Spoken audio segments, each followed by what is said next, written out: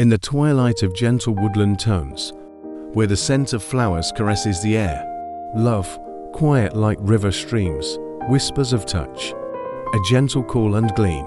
In eyes, a thousand starry paths, dreams shine in the light of your face. The heart dances to life's rhythm, through silence, a love that never fades. As time softly slips through our palms, memories and joys, all past and present.